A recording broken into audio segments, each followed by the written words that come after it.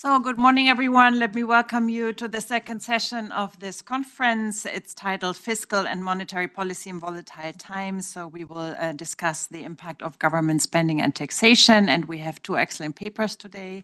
One by Luca Fornaro, uh, titled Fiscal Stimulus with Supply Constraints. And then the second paper will be by Wei Cui um, uh, called Taxing Sudden Capital uh, Income Surges. So let us start uh, right away with the first paper, and I would give the floor to Luca, please. Okay, so first of all, thanks a lot for uh, inviting me to present this paper. It's a pleasure to be here. Right. So uh, this paper is uh, motivated by the fact that the pandemic experience, uh, I think, challenged our understanding of inflation, or at least my understanding of inflation. Why? Because during the pandemic, we've been seeing a disconnect between prices and wages, especially the times when inflation was rising rapidly, wages did not rise uh, nearly as much as prices. In this contrast, uh, a bit with the baseline New Keynesian model, because in the New Keynesian model, wages are really the prime driver of uh, price inflation. So how to make progress? I think that one way, one promising way is to think about how technological constraints affect uh, the way that firms set prices. Why do I think that this is a useful uh, way to make progress? Well, because there's been uh, two recent papers, empirical papers, which have uh, two very interesting observations. So the first one is by Pandalai-Nayar, and uh, they look at how firms' price uh, setting depends on the level of capacity utilization. And what they document is very interesting. So they show that uh, firms that operate far below their maximum level of capacity tend to maintain uh, prices constant uh, in the face of demand shock. On the other hand, if you look at firms uh, that are at a high level of capacity utilization, well, these firms uh, tend to increase prices by a large amount when they're hit by increases in demand. So supply constraint seem to matter for uh, price setting. Moreover, there is another uh, recent paper by Ethan Ilzetzki, which makes another interesting observation, which is that uh, firms tend to react to large demand shock by investing in order to relax their future supply constraint. So it looks like technological or supply constraint, they are not static, but they tend to evolve over time. And what I will do today is very simple. So I will show you a framework that embeds these two empirical insights and think a little bit about uh, the implication for inflation. So at the heart of the model, there will be occasionally binding supply constraints. Uh, you will see what they are more precisely when I show you the model, but just think about them as technological constraints that prevent firms from expanding output quickly. And the interesting uh, aspect of this uh, uh supply constraint is that when they bind, they will generate uh, an endogenous markup of prices over wages. So they will create a disconnect between prices and wages. I will use the model to think about the impact of fiscal stimulus on inflation. Here, the motivation comes quite naturally from the debate about the inflationary consequences of the pandemic era's fiscal stimulus in the US. And in particular, I will show you um, the so-called fiscal Phillips multiplier. That is, I will ask myself, imagine that the government, through fiscal stimulus, want to generate a given increase in output. What is going to be the impact on the inflation rate? And both in the paper and in the presentation, the emphasis will be on a simple model useful to think about uh, analytic results.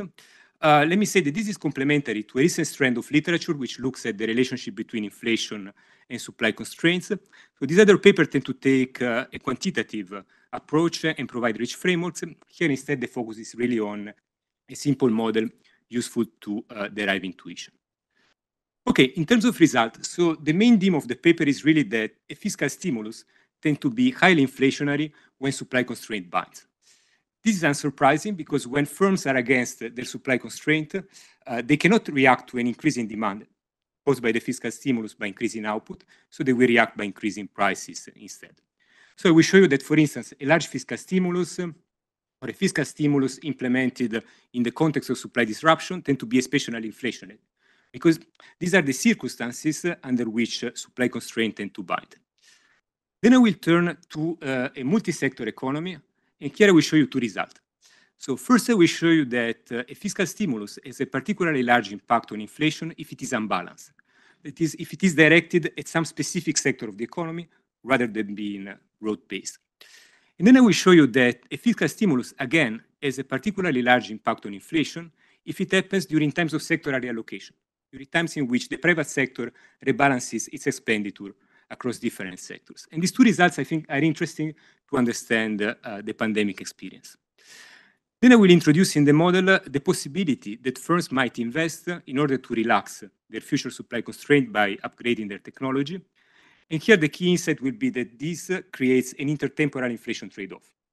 That is, a fiscal stimulus will generate an initial rise in inflation, but this rise in inflation will be transitory. Why? Because firms will react to the stimulus by investing.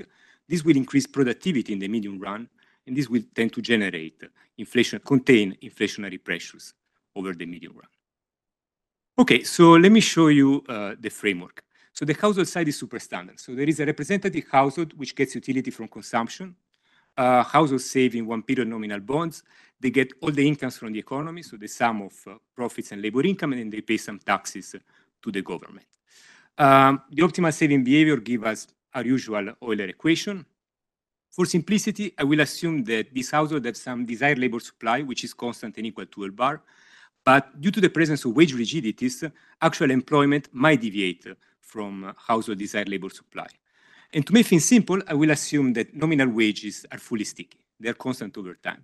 Now, this assumption, of course, is not realistic, but it helps me to uh, highlight the new driver of inflation of this framework as opposed to frameworks in which wages are the main driver of price inflation. The firm side of the economy is where things get uh, more interesting. So there is a unit mass of competitive firms which to produce need to perform two tasks, A and B. So these firms need to allocate labor between these two tasks according to this uh, Cobb-Douglas uh, production function. Here is where the technological or supply constraint kicks in in that I assume that the amount of labor that uh, can be allocated to task B is subject to an upper bound. There is a limit on how much uh, labor can be allocated to task B. When this constraint binds, of course, this distort the allocation of labor between the two tasks and generates some efficiency losses, as you will see in a second. The variable Y bar, which for the moment I will take as an exogenous variable, plays a very important role in the framework because essentially determines whether supply constraints bind or not. When output is below Y bar, supply constraints do not bind. When output is above Y bar, supply constraints start binding, and the allocation of labor is inefficient. So in general, the supply constraint will tend to bind when there is a big surge in demand, a big increase in demand for firm's product. But it can also bind when there is a shock that reduces Y bar. You can think about it as a shock that reduces access to some input complementary to labor in production. It's a supply disruption. What are the consequences of uh, this binding supply constraint? So let me start by highlighting the consequences for output. So here is the aggregate production function. So output in this model is linear in labor if uh, the supply constraint does not bind, just like uh, your standard New Keynesian model. But it becomes concave in labor once constraints start binding. So here we are capturing the idea that uh, if you try to increase output above the normal level fast, firms are going to run into productivity losses because it's just hard to expand production quickly uh, for firms. What is the implication from prices? So here we are in a competitive economy, So in equilibrium, prices have to be equal to marginal production cost. So when supply constraints do not bind, prices are just equal to wages. They track the wage rate. But when supply constraints start binding, prices disconnect from wages and become increasing in quantity produced. Why? Because when supply constraints are binding, again, uh, labor productivity declines, and you need to compensate firms for this decline in productivity by giving them a higher price. So you see that a binding supply constraint in this model act as a sort of endogenous markup of prices over wages and disconnect partly prices uh, from wages.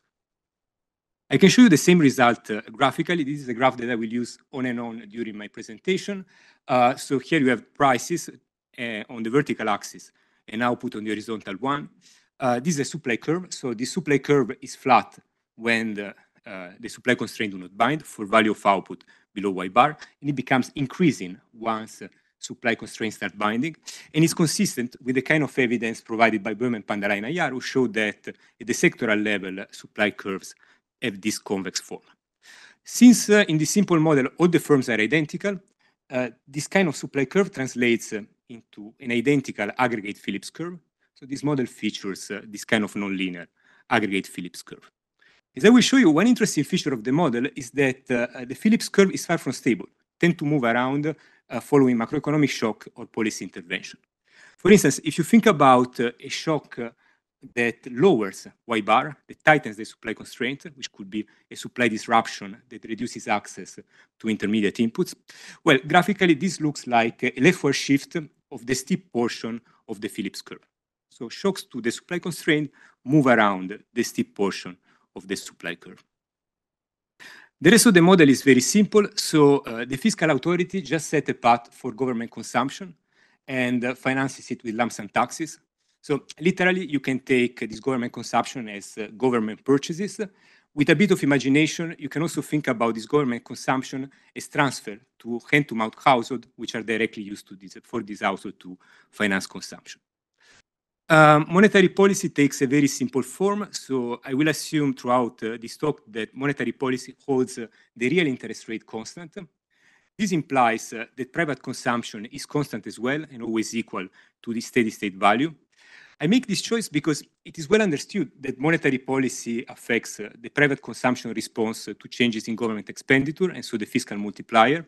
Here, I want to simplify on this front uh, in order to focus uh, on the impact of fiscal stimulus on inflation. And then in this simple model, output is totally consumed, and even though that's not very important, I will assume that in steady state, supply constraint do not bind and household work their desired amount of labor. All right, let me show you uh, some uh, some result. So as I said here, uh, the fiscal multiplier is trivial.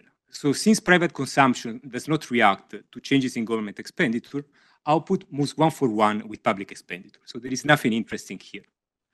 The interesting part comes when we start thinking about the fiscal Phillips multiplier. We start thinking about what is the impact of inflation of a fiscal stimulus which moves output by 1%. So the first result here is that uh, this fiscal Phillips multiplier is state dependent. So prices do not react to a fiscal stimulus if supply constraints do not bind, while uh, they increase after a fiscal stimulus if uh, supply constraints are binding. By how much do prices increases? This is captured by the parameter alpha, which is capturing the importance of the task B, of the task which is subject to supply constraint in production.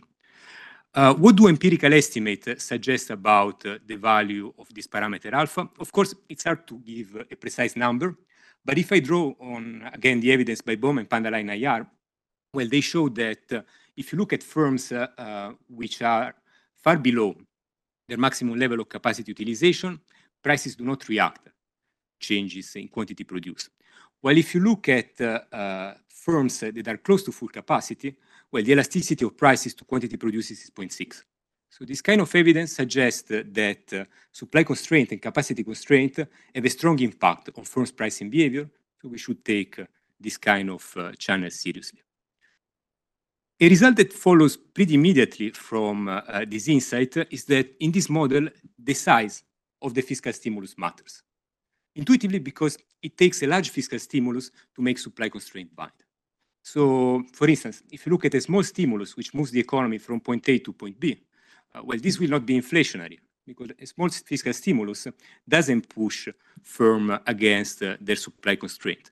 But if you look at a large fiscal stimulus, for instance, moving the economy from A to C, that's when supply constraints start binding, and that's when you start seeing uh, inflationary pressure. So, this result suggests that you know, local fiscal multiplier or looking at the local impact of a fiscal stimulus on inflation may not be very informative about the impact of large fiscal stimulus program. A second result is that uh, a fiscal stimulus is more likely to generate uh, a rise in inflation if it happens in the context of supply disruption. Why? Because supply disruption shifts the kink part, the upper low part of the Phillips curve toward the left. So, you know, while a fiscal stimulus in normal time will move the economy from point A to point B, not generate inflationary pressure, a fiscal stimulus in times of supply disruption, which moves the economy from point A to point C, might generate a big rise in inflation. So the context in which a fiscal stimulus takes place is important to understand its consequences for inflation. Now, two remarks. One I already mentioned, but it's worth repeating. So here, binding supply constraint act as markup shock of prices over wages. Why? Because when supply constraint bind, wages do not reflect marginal production cost because you have uh, lower productivity coming from the supply constraint. And this is really the key difference uh, between this framework uh, and the baseline New Keynesian model, in which instead wages matter a lot for pricing decision. and also the difference with respect to a strand of model which look at economies with a nonlinear Phillips curve, in which the Phillips curve is nonlinear because of downward wage rigidities. Here, the nonlinearity is not due to downward wage rigidities, it's really due to the fact that technological factors partly disconnect prices from wages. The second remark uh, that I would like uh, to make is that uh, supply constraints might tell us something about the inflationary consequences of the recent US pandemic fiscal stimulus, and especially of the fact that this corresponded to a rise in prices for given wages. Moreover, if you think about the fact that the US fiscal stimulus was large and it was accompanied by pandemic disruption, well, the model tells you that you should expect a high fiscal multiplier. So perhaps you know, we should explore the role of supply constraint to understand the inflationary consequences of uh, the recent fiscal stimulus. Okay, so now let me turn to a multi-sector economy. Why do I want to do that?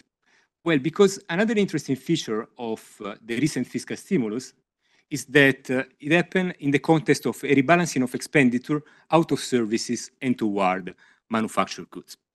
Uh, in fact, I would say that there is reason to think that the fiscal stimulus itself contributed to this rebalancing of expenditure because this peak in the share of expenditure on goods really corresponded with Biden's fiscal stimulus. So fiscal policy might uh, have contributed to this change in consumption pattern as well. So let's think about the implication for, inflation. So to make things simple, let me assume that there are just two sectors, manufacturing and services, and that households aggregate the goods produced by these two sectors according to this uh, Cobb-Douglas utility function. Uh, the parameter omega captures the share of expenditure on goods. And, uh, well, the CPI, the Consumer Price Index, is just a weighted average of the two prices where the weight is given by this parameter omega. Um, let me assume that uh, supply constraints are sector specific, and in particular, they are proportional to the long run expenditure share. Essentially, I'm looking at an economy in which technology is shaped by the long run consumption pattern. Fiscal policy now is defined as a path for government expenditure on the two goods, manufacturing and services. And let me define uh, real government expenditure just as the nominal expenditure deflated by the CPI. Okay, the first result that I want to show you is what happens when uh, the fiscal stimulus is unbalanced, when it targets a particular sector. To do so, let me suppose that private expenditure is stable. So the, private sector has constant expenditure share. If the government had the same expenditure share as the private sector, the model would collapse to the baseline one, and we will not have anything interesting going on. So let me deviate from that, and let me assume that the fiscal stimulus fully targets manufacturing. So here what the government is doing is that it's keeping real expenditure on services constant and it's administering stimulus by increasing expenditure on manufacturing. So I can show you the result just by looking at this diagram. So the blue line is the baseline economy that I showed you before, balanced fiscal stimulus. The red line is the case of an unbalanced fiscal stimulus. You can see that this unbalanced fiscal stimulus tend to shift the Phillips curve toward the left so that for a given amount of GDP, you have a higher inflation rate. And the intuition is pretty straightforward. So here, fiscal stimulus is cramming a lot of demand on a few firms. So it makes it more likely that uh, the supply constraint becomes binding for the firms targeted by the stimulus, and this firm will react through an increase in prices. Uh, instead, the other firms in the economy, the ones that are not targeted by the stimulus, will not cut prices because they are on the flat portion of the Phillips curve. So here, an unbalanced fiscal stimulus tend to be more inflationary than a balanced one because it generates inflation in the targeted sector, but does not generate a decrease in prices in the rest of the economy. And I think that this result is interesting because uh, there is a lit literature suggesting that the composition of fiscal stimulus matters. For instance, there is a very nice paper by Cox and co-author where they show that um, in practice, fiscal stimulus is typically targeted some specific sector. So empirically, fiscal stimulus are typically unbalanced. They also have a very nice framework in which they highlight that structural differences in sectoral price stickiness uh, met, uh, mean that the composition of fiscal stimulus matter. This paper has a similar feeling, but here uh, the difference is that price stickiness is endogenous. So in this model, there is no structural difference in price stickiness across sector. Uh, the difference in price stickiness arises endogenous, endogenously because of supply constraint, and it depends on the fiscal policy itself. Another result that I want to highlight for this multi-sector economy is what happens when fiscal stimulus is administered in an economy which is unbalanced. An economy that is experiencing a sectoral allocation of uh, expenditure. So to do so transparently, let me assume that the government has the same expenditure shares as the private sector. But now let's think about a case in which uh, there is a temporary rise in the expenditure share on manufacturing, a temporary rise in Omega, what you can think of as a reallocation shock. What will happen? So, you know, the result is very similar to what I showed you before. This reallocation shock moves the Phillips curve toward the left or the upper slope part of the Phillips curve toward the left. Why? Well, because now you are forcing a lot of demand on uh, one particular sector of the economy. This sector is not prepared to receive this high demand because its technological constraints are shaped by the long-run consumption pattern. And this generates high inflation in the sector with high demand, which is not compensated by low inflation in the other sector because the other sector is uh, on the flat part of the Phillips curve. What happens if uh, you do fiscal stimulus in this kind of economy? Well, this is likely to generate high inflationary pressure because it exacerbates this uh, unbalanced consumption pattern. And in fact, you know, this result is connected to uh, a recent literature which shows that uh, reallocation shocks, sudden changes in the allocation of consumption across different sectors, tend to worsen the inflation output trade-off. So they tend to shift the Phillips curve in an adverse direction. Uh, here, what we're adding on top is that in this context, a fiscal stimulus tend to be particularly inflationary. I think this is interesting if you think about the pandemic-era fiscal stimulus because it occurred precisely in the context of uh, unbalanced expenditure pattern and probably also contributed to uh, this imbalance itself.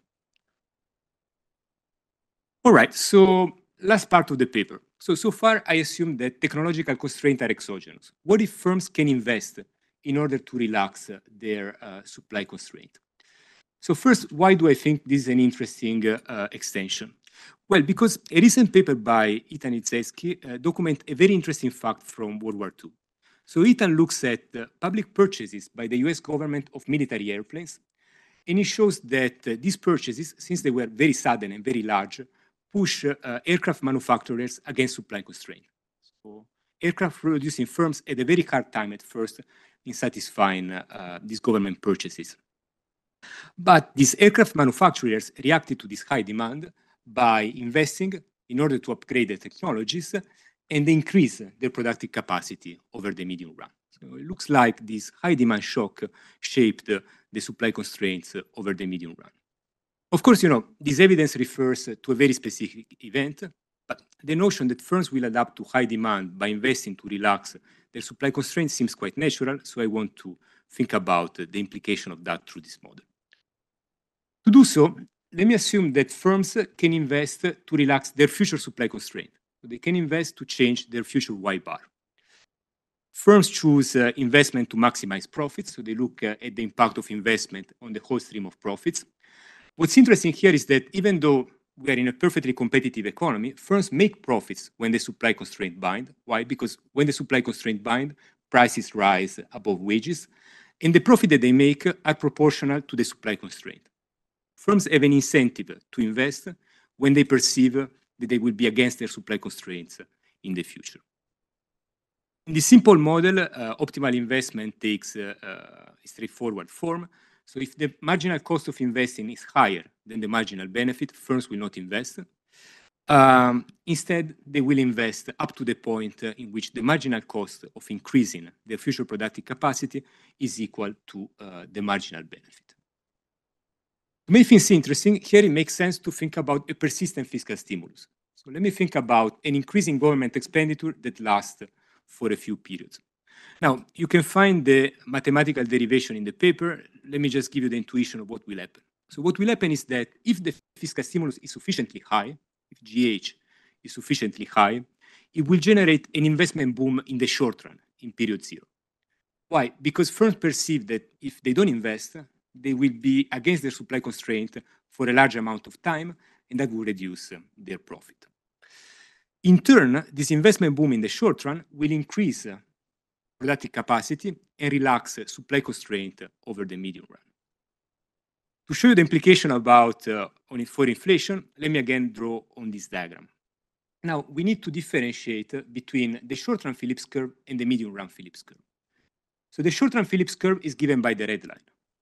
So initially, in the short run, the fiscal stimulus has a large impact on the inflation rate. Why? Because in the short run, firms cannot adjust to this increase in demand, so the increase in demand creates high inflationary pressures.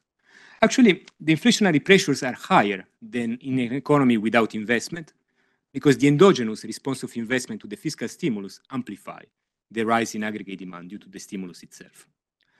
But then, you know, in the medium run, investment relaxes supply constraint, and it generates a rightward shift, positive shift of uh, the steep portion of the Phillips curve.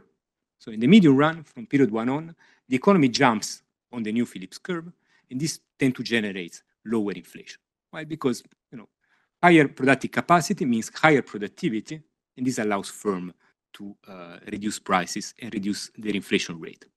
So once you think about investment, you see that there is a sort of an intertemporal inflation trade-off. So investment tend to exacerbate the inflation produced by fiscal stimulus in the short run, but it tends to mitigate it in the medium run because it allows the economy to become more productive, reducing marginal cost and inflation over uh, the medium run. All right, let me wrap up uh, with a bit of self-promotion. So I think that, uh, you know, supply constraints are potentially important for firms' pricing behavior and inflation. And in fact, I have two paper that uh, develop this insight. First, I have some work with Federica Romei. There we think about the impact of supply constraint for the international transmission of inflation, especially during the pandemic. And I also have some recent work with Veronica Guerrieri and Lucrezia Reichlin, where instead we argue that supply constraint might be important to understand the consequences for inflation and monetary policy of the energy transition, the transition toward a greener economy, because we expect that during the transition, supply constraint will become particularly important for dirty sectors. More generally, you know, I hope that uh, this presentation convince you that uh, uh, supply constraints are an interesting avenue to make progress in understanding inflation dynamics. And you know, it's a very new approach, so I think that uh, more new theoretical and empirical work is definitely welcome to understand better the macroeconomic implication of uh, firm supply constraint. And i will uh, stop here. Thank you, Luca. So now I give the floor to Giulia Gitti, currently at the ECB. Can you hear me? Yes. Okay. So um, First of all, um, good morning. Thank you to the organizers for Uh, giving me the opportunity to discuss this very interesting uh, paper. So First of all, uh, let me start by saying that I really enjoyed reading this paper, and I learned a lot from it. In my research, I study from an empirical point of view the nonlinearity of the Phillips curve in relationship to the labor market. So I particularly enjoyed uh, learning how Luca has studied the nonlinearity of the Phillips curve from a theoretical point of view in relationship to supply constraints. So this paper asks uh, whether and how a fiscal stimulus affects inflation in the context of uh, supply constraints. And this is, of course, particularly relevant to assess the inflationary effects of the pandemic era U.S. fiscal packages, uh, which amounted to 15% of the U.S. GDP. So this paper answers this question by developing a new theoretical framework with occasionally binding supply constraints. So the uh, novelty of this framework is uh, resides in how the production side of the of the production side is modeled.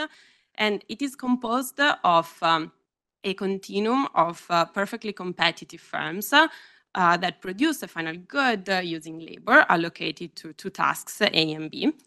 The supply constraints are introduced as a technological constraint that limits the amount of labor allocated to task B.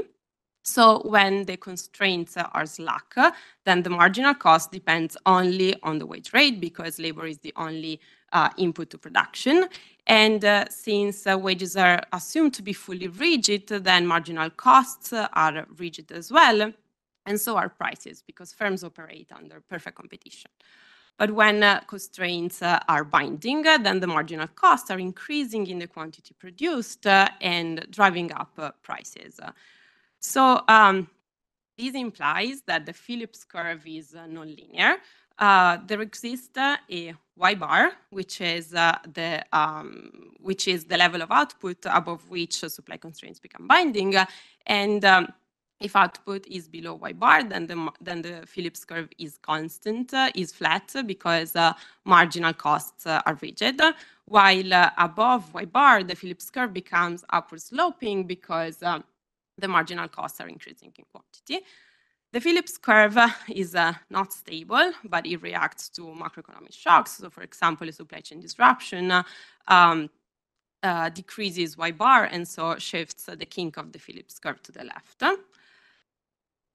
The second result is that the Phillips curve is also not stable to um, so I mean, like in uh, uh, with this uh, uh with this uh, with this framework in mind, uh, it is straightforward to see how a how a fiscal shock can be inflationary in, uh, in this context, because uh, if the fiscal uh, stimulus is able to uh, push the economy to the upward uh, slope part of the Phillips curve, then uh, it will have an, an, effect on inflation. So this will happen when supply constraints uh, bind. And of course, uh, the inflationary effect is going to be more pronounced during supply chain disruption, which shifts the um, upward slope of the Phillips curve to the left.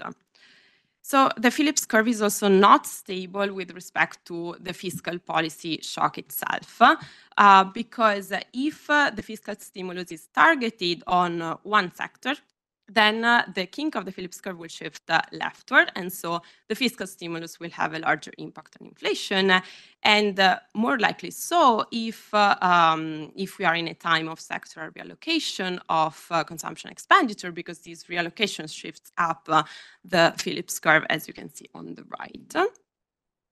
And uh, finally, the um, any, a, a, persistent fiscal stimulus uh, can create an intertemporal trade-off if, if it leads firms to invest uh, to overcome their supply constraints.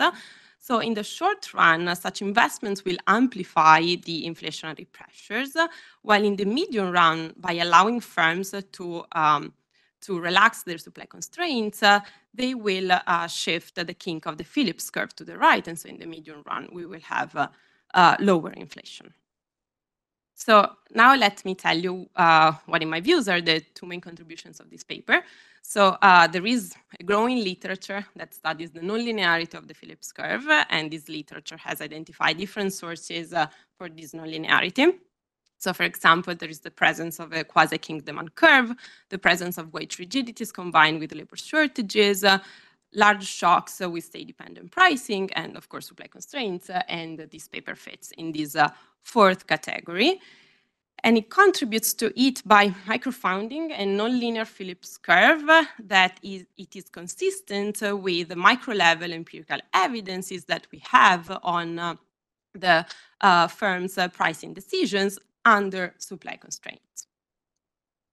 The second, uh, secondly, there is mixed evidence uh, on the inflationary effects of the pandemic era US uh, fiscal packages, because there are some papers that uh, um, show that the fiscal stimulus uh, significantly contributed to the inflation surge of 2021 and 2022. However, Comin and co-authors, uh, they show that the fiscal stimulus prevented deflation in 2020. So indeed, the fiscal stimulus had an inflationary effect, uh, but did not drive the inflation surge that uh, followed. So this paper outlines uh, a, a, new uh, channel through which uh, the fiscal stimulus can have an impact on inflation through supply constraints uh, instead of wages. So I think it will be interesting for future research to include this channel in a more quantitative model to understand the uh, contribution of this channel to the inflation surge and contribute to this debate. So now let me turn to my uh, comments. I have two comments and one question. So first of all, um, so in order to allow the fiscal stimulus to have an impact on inflation that goes, uh, that doesn't go through wages, um, the author assumes that wages are fully rigid, and so labor supplies is determined by labor demand. However, in the post-COVID period, the post-COVID period was characterized by severe labor shortages in the US, and indeed the US labor market was the tightest since World War II. And uh, this high level of tightness was driven by a decline in desired uh, hours worked. So I think it would be useful to um, to discuss the implications of allowing uh, labor supply shocks uh, within the model. Uh, because maybe they could have a nonlinear effect uh, depending on whether the uh, supply constraints are binding or not. Uh, but also, I think they might be relevant for the transmission of inflation. so, in the setup with the multi-sectoral economy, in which there is a manufacturing and service sector, because in this so in this setup, um, manufacturing firms uh, are pushed uh, to their uh, supply against their supply constraints uh, with a fiscal stimulus. But then you need more fiscal stimulus in order to push also service firms uh, against their supply constraints in order to have uh, inflation also there. however, I think that um, allowing for labor supply shocks and so these could help in the reinforcement of the transmission mechanism from uh, the manufacturing to the service uh, sector, given that the service sector is uh, um, is uh, labor is labor intensive, and there is ample evidence that it was hard to find workers. So the second assumption that is made is that um, monetary policy keeps the uh, real interest rate constant at its steady state value. And uh, uh, so consumption is fixed and does not react to the fiscal stimulus. And uh, uh, this assumption is crucial in order to isolate the effect of a fiscal stimulus, uh, how a fiscal stimulus affects the relationship between output and inflation. However, there is evidence that uh, uh the loose monetary policy, a loose monetary policy stance significantly contributed to the inflation surge. And so here you can see a figure from Comin and co-authors where uh, you can see the interaction between fiscal policy and capacity constraints in the goods sector indeed were inflationary in 2020. But then it was the interaction between uh, monetary policy and the capacity constraints in the goods sector that drove inflation uh, in 2021, 2022. So I think that it would be interesting to discuss uh, um, the implications of relaxing this assumption and especially the interaction between a loose monetary policy and the fiscal stimulus. Finally, I uh, found that the medium-term implications of the fiscal stimulus are very interesting. And again, these implications are that if firms invest in more efficient uh, technologies, then the Phillips curve will shift uh, to the right. So I went to the data and I uh, and I looked uh, whether uh, firms are making like this investment. So as you can see from the graph, um, there is evidence that firms almost doubled their in manufacturing firms uh, almost doubled their investment in uh, structures, uh, signaling a, an effort at expanding their production capacity. However, the investment in R&D was uh, uh, growing since uh, after the Great Recession, and it picked up the trend after after COVID with the slow growth in recent periods. So I I wonder whether like these type of investments will be enough to um, push uh, the, the supply constraints uh, of firms and uh, achieve a, a benign shift of the Phillips curve in the medium run.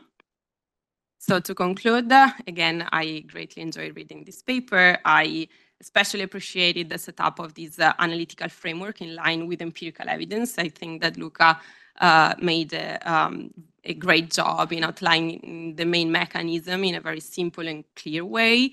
And I think the uh, paper could benefit from discussing the implications of relaxing and strong assumptions. And finally, I think that this has uh, very important implications for policy and uh, uh, future research. Thank you very much. Okay, so let's move to the second paper by uh, Wei Cui from University College London on taxing sudden capital income surges. Sorry.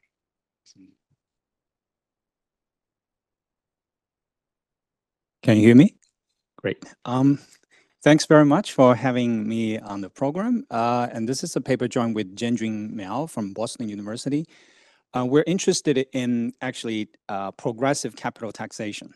Okay, so the big background, if you think about uh, recently, talking about you know wealth tax versus uh, capital tax. I think capital income tax is gradually losing ground Uh, I, mentioned the literature later on because, you know, maybe there's capital inflow, outflow, um, a- and, also if uh, uh, wealth are related to different rate of returns when you're accumulating wealth. Um, but we're going to show that if there are capital income jumps uh, coming from, um, um, uh, sorry, it's not working. O- Okay. Doesn't seem to. Apology. Is it working? Yeah. Excuse me. Um, so, so if we think about um, the wealth inequality recently and what happened to the right tail, then uh, there's a ground for actually arguing for um, progressive capital taxation. It will be, um, um, on, on the circumstances, better than wealth taxation. Of course, in my model, in the end, the wealth tax is the same as a flat rate capital taxation. Suppose we tax 20% of all kinds of capital income, that will be the same as taxing wealth. Um, there are some um, uh, differences in the literature, uh, but we're going to argue that uh, looking at the um, sudden jumps and think about um, progressive capital income uh, tax will be very uh, um, efficient, not only about the distribution in the end. So let's think about new fortunes. So we were motivated by recent um, uh, kind of uh, studies. For example, this one, if you study Norwegian administrative data, looking at the top 0.1%, okay? So who are these guys? At least a quarter of them started with debt, okay? And during their life cycle, immediately jumped uh, to, to top 0.1%. And looking at Forbes magazines, um, if you look at the 100 richest Americans, uh, also compared to 1970s, a lot of them actually get their wealth from, from new companies, new ideas. So this uh, uh, suggests that new fortunes, so sudden capital income jumps could be very important for, for the top wealth shares. And what we do in this paper is to um, write down an analytical tractable model. You don't need a computer at all to, to solve everything in closed form. And looking at the tail uh, of the wealth uh, coming from capital income jumps and study, uh, obviously, aggregate outcomes. And when you tax capital, and we look at flat rate capital taxation as well as progressive capital taxation. Progressive capital taxation here really means that you target those jump incomes. Um, and uh, we, we look at uh, uh, whether they are efficient or not. So a couple of highlights here.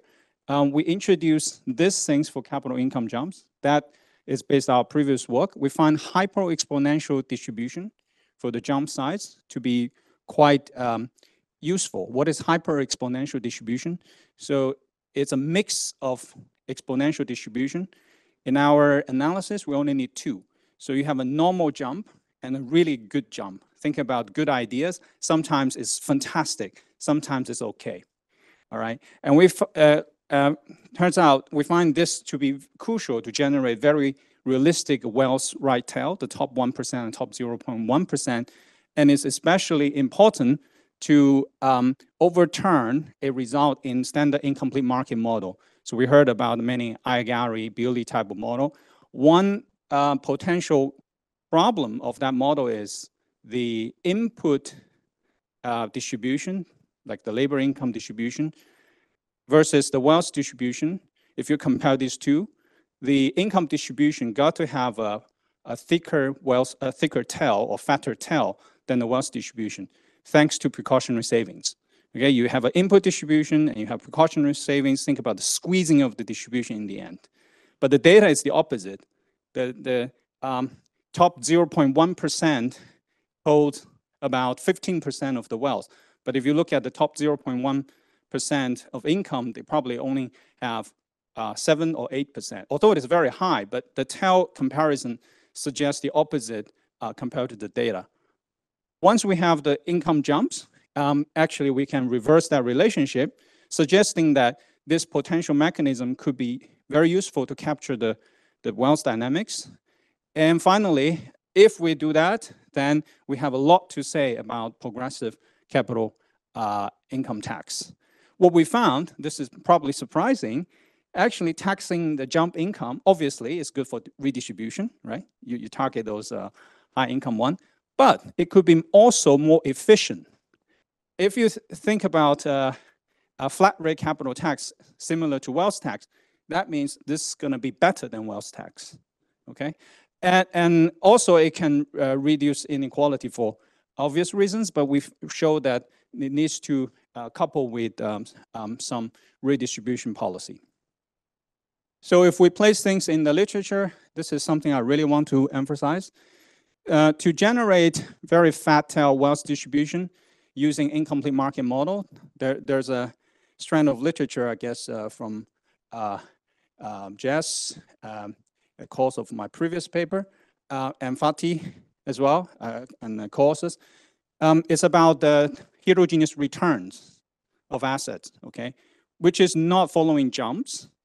Um, but the, the issue there is, well, they're going to argue wealth tax might be more efficient because if heterogeneous returns are related to heterogeneous productivity, and if you have capital tax, then you are taxing more productive guys, right?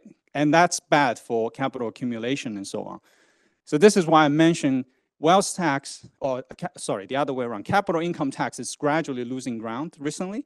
But if we look at um, potential jumps, not just heterogeneous returns, then progressive uh, capital uh, tax can be very useful. And why is that?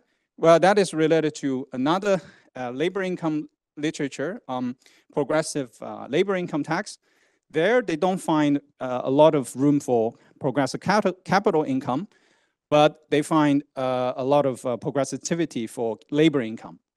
And it's really useful to tax extreme high income, labor income, because the idea behind is uh, they have very high labor income, but it won't, sometimes they call that awesome state for those who work in this uh, area. If you tax those uh, very high uh, sudden income, um, the incentives of supplying labor is not distorted very much. The reason is uh, they would not always have awesome state. So it's just uh, uh, uh, once perhaps over over 10 or 20 years, and taxing that won't have a big distortion. The same can be said for our um, taxing um, sudden capital income surge. It is rare, it is sudden, and if you tax that, it is going to be uh, less distortionary compared to, to flat rate income tax, which is the same as wealth tax. Okay, in the interest of time, let me jump to the to the model. Um, I will probably bother you a little bit with, with the continuous time math, but I, I, I will skip a lot of details just to emphasize the, the big picture. So uh, we have a continuum of um, households. And for simplicity, the aggregate units of labors are constants, but each household will receive idiosyncratic shocks. So you have a heterogeneity over there, and then you have heterogeneity in labor income. Um, each household owns and runs a private firm. Um, this can be thought of uh, investing um, corporate firms, but they have uh, segmented markets. Um, those firms employ laborers, but they can only use capital stock invested by a particular household. So you have segmented markets uh, uh in this sense. And there will be only two sources of uh, shocks. One is the labor income shock. The other is um, shock to, to the um, capital, and that will be modeled as a, as a sudden jump. Okay, and in the in the market, there's only riskless private government bonds, and you cannot fully diversify away the shocks. Uh, government bonds are more liquid than than capital, um, and that's basically a two-asset um, incomplete market model. We focus on the stationary economy, just to simplify the analysis. So this is why I mentioned there's a little bit complication on the continuous time modeling, but um, idea is very similar to discrete time. Um, here, let's say um, we have a delta t, very small increment there, and we have uh, Epstein-Zin type of utility. And why do we need that? This is because in the end, we want the model to match marginal propensity to consume as in the data.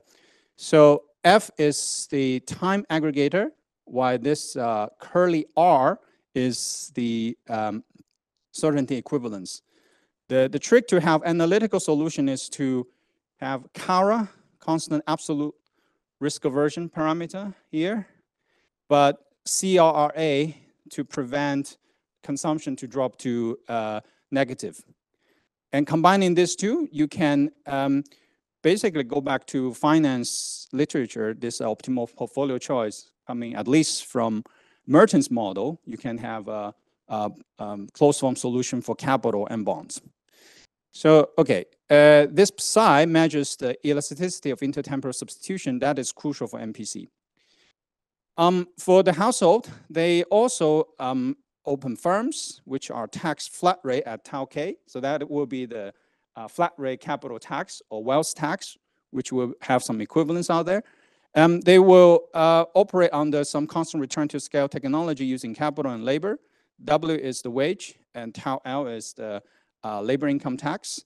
And then turns out to be a linear uh, profit function. That is standard. Um, what is not so standard is the labor income process. I want to advertise this process a little bit. We used in the previous study. Um, there are only three parameters. Okay, so this is basically uh, a modified um, AR1 process. In finance, it's called the Cox-Ingersoll-Ross interest rate process. Basically, the, the new thing is there's a square root of L in front of the Brownian motion. Okay, that means the labor income cannot be negative. And the reason used in finance is you don't want interest rate to fall below some uh, lower bound. Here would be zero. Uh, only three parameters, okay, only three. It turns out it can match the census data pretty well. Um, uh, only three. Of course, our model is stylized, but if you go to the literature, um, uh, what I know is at least you need six or even 26. I think uh, Guvenen a recent paper to match um, the, the uh, census data. It turns out this is, is really useful. I'm going to show you a simulation later on. Um, of course, we lost some of the aspects, but for our analysis, this is, is, is enough. Okay, that is the first shock. The second shock is the jump, okay? Um, uh, the entrepreneur profits coming from capital, and they have some um, uh, uh, adjustments costs so that we can determine the capital uniquely. There's quadratic adjustments cost, and it follows a jump. The jump size is random. So if you have a jump, that size is also random. This is kind of a compound jump uh, uh, Poisson process. Um, and is, uh, the jump size follows a hyper-exponential distribution. What is a hyper-exponential distribution? So this is the, the fun part, okay? The red one, uh, sorry, the, bl uh, the blue one is the HED, and it's a mix of two exponential distribution. I'm plotting the uh, PDF. So uh, one distribution is captured by uh, mean mu j, and you only need one parameter for each exponential distribution, right? And this mu j is after-tax um, average return of the components. So we have uh, flat rate tax as well as the progressive tax part.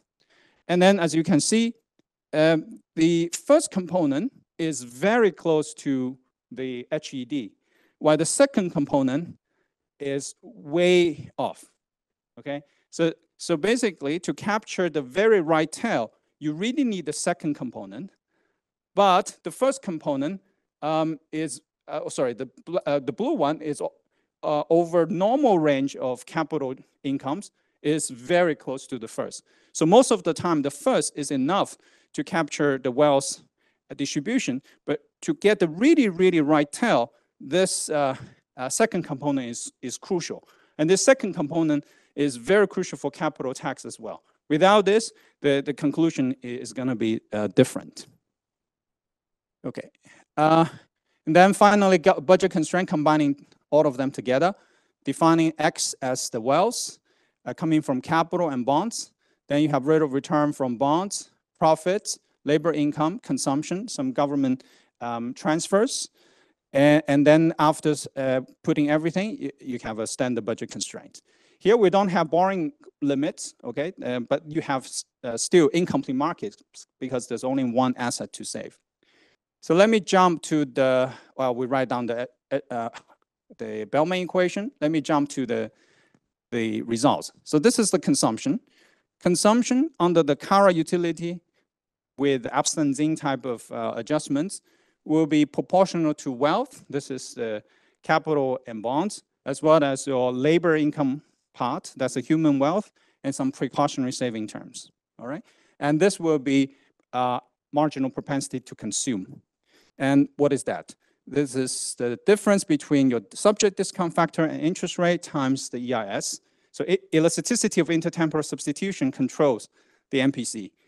Um, and then capital investments that has the access return and the jump part.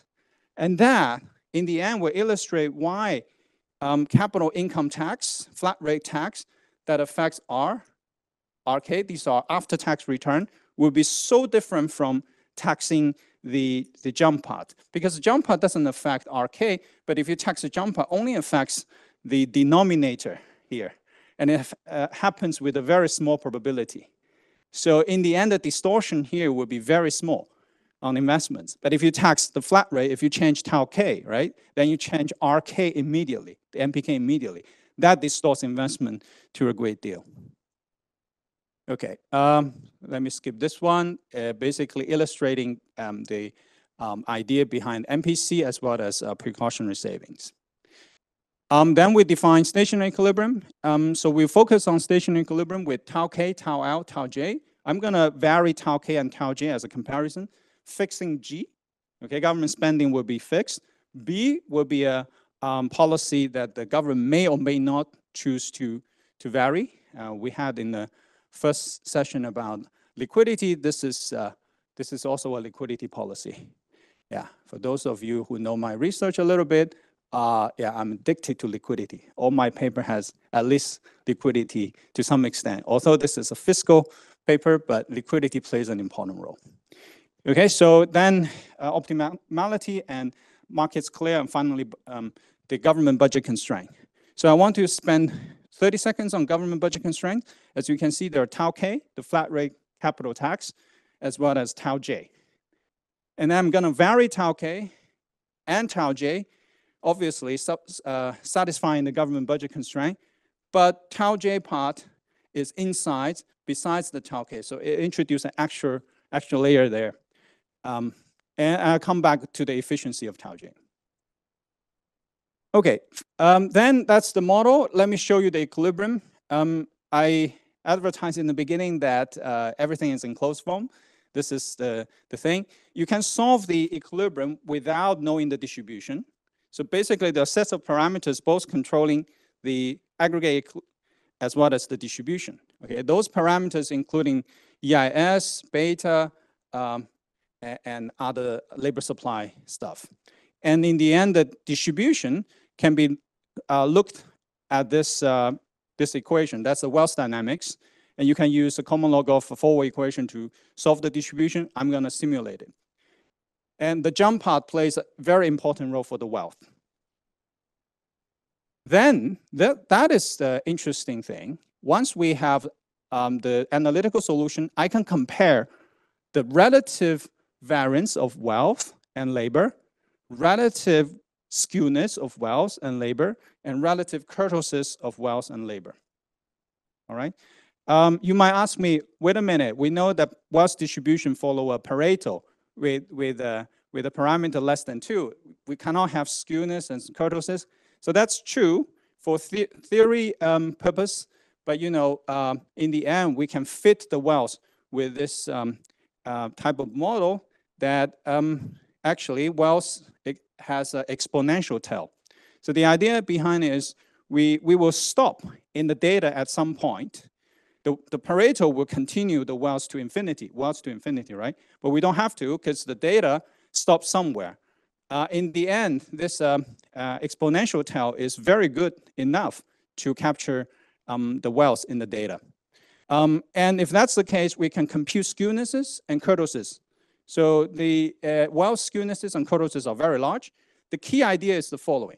If you shut down lambda k, the jump, then, and if you trust me, this is a number that is smaller than one, which means that your output distribution has a lighter tail than your input distribution. This is the input, your, your income. This is the output. But adding the lambda k does not necessarily generate the opposite result because lambda k is a risk as well. You still have precautionary savings. So it appears in the bottom, that's uh, minus, uh, 3 divided by 2. So that part can further push down the, the tail of the wealth, but it has this part that push up the, the wealth tail relative to, to the labor income. So uh, what does that mean? Uh, you need um, just enough illiquidity to, to prevent the precautionary savings to some extent. And you generate a, a thicker tail of the wealth, which is the, the third term, which is the third term. And if you really want to analyze the tail behaviors of the wealth and labor, it can capture by this comparison. These are the uh, exponential decay rates. We prove that the wealth and labor follow exponential distribution in the end because it's a mixed exponential uh, as an input. And this alpha x is the wealth tail decay rate, which is affected by taxes. And uh, this is by labor. And we can see that the second component of the jump will change this uh, decay rate to a large extent. And the wealth tail can decay much, much slower than, than the labor income. So uh, these are the theory uh, part. Let me show you the quantitative part and then look at the um, progressive tax versus uh, income tax, uh, sorry, the flat rate tax. So first we calibrate the model, um, especially these two, to jump uh, mean, okay? There are two exponentials. So you have an exponential that works very normal. The mean is 10%, uh, but there's another one that is like 600% before tax. And then we estimate the labor income process. Um, I um, said that if matched the data pretty well. Let me show you the picture here. This is the um, data from the census study by Guvenen and, and all, uh, the causes. This is the model. We look at one-year log income changes. So looking at the growth rate of your income, and then five years, um, compared to, to the normal distribution. Um, basically, the, the um, log changes have uh, uh, quite large kurtosis, not much skewness and fits the data reasonably well. And finally, this was the um, thing about the tail. So if we look at the uh, US wealth data, then you, you look at the power distribution, the, um, the Pareto distribution. Roughly speaking, is about 1.55 to 1.6, depending on the era. And then if we plot the log of wealth and log of counter CDF, that would be the Pareto. And this will be our model, okay, the, the, the blue line. So it's a mix of all the exponential distribution, and the second part capture this uh, decline uh, to, to a large extent, and you stop here.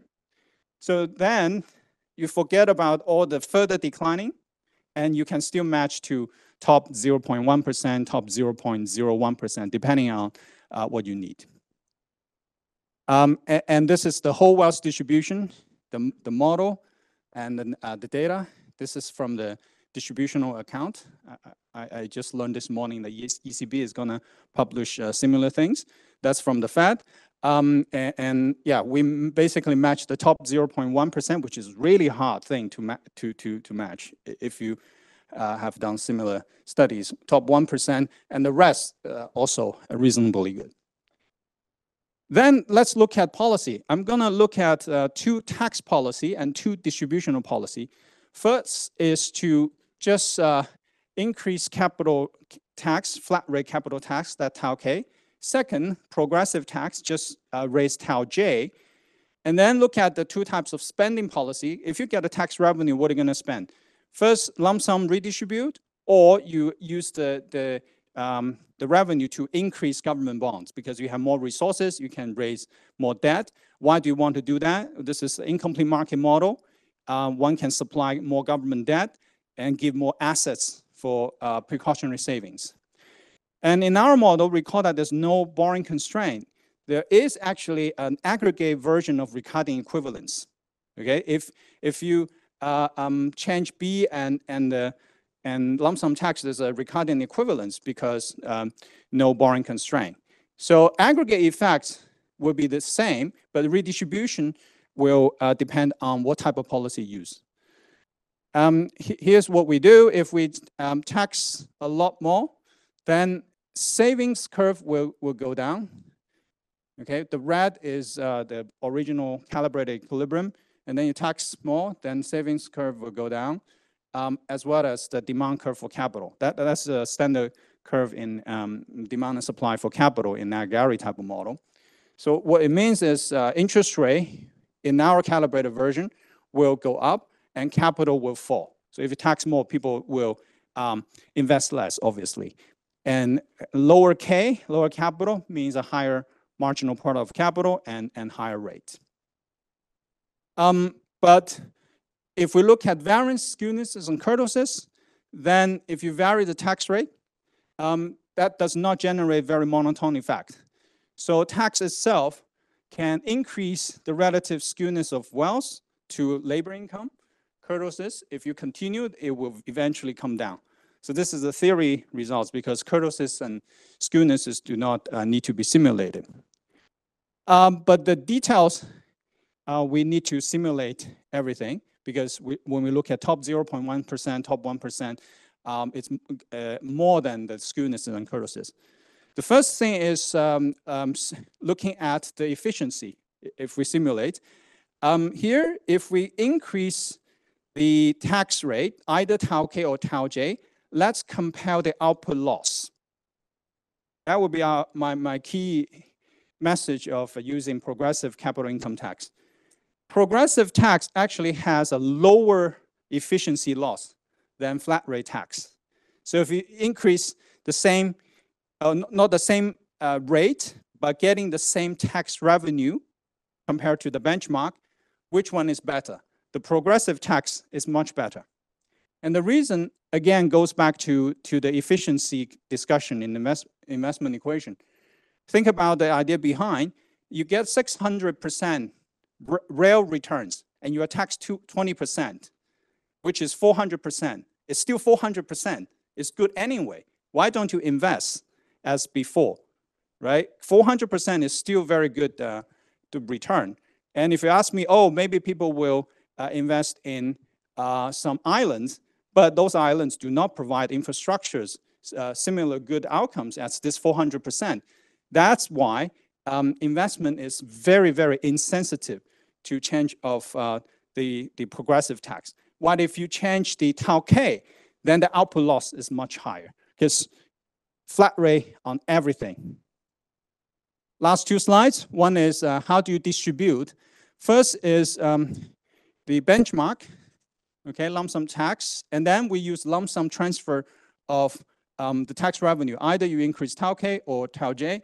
Turns out that uh, it gets you worse inequality because the bottom, the bottom has less wealth shares. And the reason is if you do lump sum transfers, you provide better insurance to everyone, then those uh, uh, people will borrow more, especially in the bottom. So then they hold less wealth. So the wealth inequality goes up. Final slide is, suppose you use the tax to uh, increase government bonds, and you have the ability to do so because you have more uh, income, then providing um, government bonds actually helps to, to uh, get the inequality measures to go, go down. So poor people hold more um, as well as uh, uh, lower Gini index, and the top uh, wealth shares go down. So in the end, the prescription is um, combining progressive capital income tax, using the revenues to redistribute you, uh, via the financial market, providing more safe assets. Um, and, and, let me conclude. So hopefully this is a tractable macro framework that uh, obviously heavily relied on exponential tail, the uh, HED, hypo exponential distribution, but it is really useful for analytical purpose and fit at least top 0.1% uh, very well. So the key takeaways, I will say two things. One is uh, this will help me to generate a thicker wealth tail. Without that, it's, it's not possible. So you need the illiquidity of capital and the HED. Second, um, taxing the jump income, which is a progressive capital income tax, might be a good idea if the redistribution is done carefully, which is different from uh, taxing the wealth. Thank you very much, Wei. So let's go to the discussion. That's Johannes Brumm from the Karlsruhe Institute of Technology. Please. Okay. Um, so thanks to the organizers for inviting me to discuss this fascinating paper. Very elegant model and very thought-provoking policy analysis. So let me, on the first slide, try to summarize the paper and hint at what I will discuss later. So the model is continuous time heterogeneous agent model with recursive utility and constant absolute risk aversion. And there are these idiosyncratic shocks to capital income, that's called capital surges, capital jumps, and they are hyper exponentially distributed. And then there's a flat tax on capital plus an extra tax on these capital surges. So the great thing is the analytical tractability. And one thing I'll talk or ask about is the implementation of this extra tax. Then turning to the calibration, they get a realistic cross-sectional wealth distribution and a large return premium on private capital. About the second, I could talk a lot, um, but I don't. So let me focus on the first. Um, and in particular, I'll ask about how the mechanism of how the wealthy accumulate wealth, how that matches or um, is in line or not with panel evidence. And then the third part, of course, the policy results. First one is progressive tax distorts investment less than the flat tax. And the second, capital taxation lowers wealth inequality if used to provide liquidity through government debt, but it raises wealth inequality if revenues are distributed equally. Here, I'll mainly focus on the modeling of the investment choice, and I'll ask about consumption inequality um, in addition to wealth inequality. So let's um, start with the question of how these agents accumulate their wealth in this economy. And so as the model is so nice and tractable, I just simulated a bunch of agents um, in this economy. So on the left-hand side, you see their wealth on a linear scale. On the right-hand side, um, you have them on a log scale so that you can also see some of these poor guys down there. And you also already see that there's two guys who received this second exponential shock. So they drew this, what I will call lottery ticket later. Um, so there's this red and the orange, and they got really rich. They got this capital surge. Um, and for what I'll tell you on the next slide, I think most important thing to notice here is that these guys weren't rich before. They weren't actually different at all from the other guys before. And also, if you look at what happens to them afterwards, like after 10 or 20 years, they're basically back to where the others are. So they deaccumulate their wealth pretty fast. So let's think about the dynamics of wealth accumulation. And let me contrast the nice tractable model with its analytical features with some empirical evidence. So the model has a constant MPC out of total wealth, so out of financial wealth plus future labor income plus future transfers, coming from the homothetic preferences. And it has an equity share that is not rising, not constant, but falling in wealth. And that's natural consequence of the constant absolute risk aversion utility. And of course, there's empirical evidence um, to the contrary. So uh, this paper um, by Hubmer et al. that you um, already cited, and of course there's lots of evidence in, in there, so it's a great new paper, so have a look at that. So some evidence is in favor of, of your story, some is not, so I pick kind of the critical parts. So what they do is kind of, they try to account for how the top 0.1% accumulate their excess wealth. And by this accounting exercise, they find that to a large extent, they do so by savings rates, so higher savings rates, and inheritances. To some extent through returns, higher returns, and to a little extent through higher labor income. And the second feature is that they have a much higher equity share than the rest. Like the median household has most of its wealth in housing, and the very rich have more than 80% in equity, mainly private equity.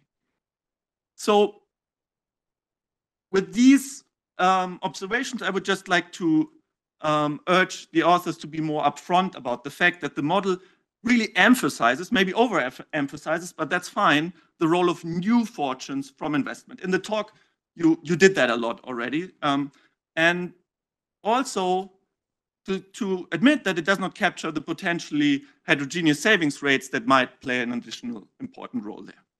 So let me move to the results. First one was that additional capital tax, uh, sorry, additional capital surge tax distorts investment less than higher flat tax. So why is that in the model? Um, I think it's mainly because innovation results from saving in private capital in some sense as a byproduct. So like a lottery ticket that you get in addition to doing your business as usual. And this byproduct is ex ante available equally to everyone, and it's ex post delivered, delivering these rare, huge returns. And as Wei explained nicely, well, if this return is a little less huge by this extra tax, then of course it won't change your decision much. But let me raise this concern that maybe the capital tax surge might impact incentives differently if there was a separate innovation or R&D choice that you could make like separately from your capital investment in your private um, business. And then if agents were heterogeneous with respect to their innovative productivity, then you could also overturn this result, like in the Guvenen paper that you also mentioned, where you would find that the capital income tax is actually not as good, uh, sorry, it's actually better than um, the wealth tax. Um, okay, so let's move to the second result, which was that capital taxation reduces wealth inequality if used for liquidity provision, but raises wealth inequality if revenues are distributed equally. Why is that? Of course, there's many things going on in the general equilibrium setup here, but I think the main mechanism is pretty simple that if you redistribute the revenue, reduce precautionary savings from the poor, and from that, they save less, so uh, inequality in wealth is higher. Um, but so what? Maybe consumption inequality is lower, and that's why I would just want to encourage you to look at the distribution of consumption. And maybe you can derive the distribution of consumption um, analytically as you do for the distribution of wealth. That would be a great additional value of the paper in terms of theory and um, the application. So finally, I want to talk about the implementation of this tax. So this it's an accrual-based extra tax on capital income jumps, as you have it in the paper, taken literally. And of course, one could first ask, like, how do you exactly identify the jumps? Um, but they are large, they are rapid, maybe it's easy to identify them, but they are not literal jumps as in the paper, and that brings up an additional problem that like taxing them right away might hinder innovation in some sense, might throw some sand in the wheels. So that's one question that you might want to discuss. And then the other thing is if the value of these assets varies, so if there are asset price fluctuations, then a recent paper by Aguiar, Moll, and Scheuer, they show that then you might want to have a capital tax that is based on realization and not on accrual, as in this paper. So that's also something that I would like to encourage you to discuss in the paper and maybe um, see how this would change things. So let me conclude with that. Um, so I think the paper really elegantly makes the point that taxing capital income jumps to fund the government debt can achieve a good balance between efficiency and redistribution. That's your words, and I totally agree. So that's the paper making really elegantly this point. And I think it's certainly true if capital surges can be thought of as stemming from lottery tickets that are attached to ordinary private capital investment. And to some extent, I think one can think of them like that, but not totally. So sensitivity within this model and richer ones and also empirical work to see how important this mechanism is, is really in place.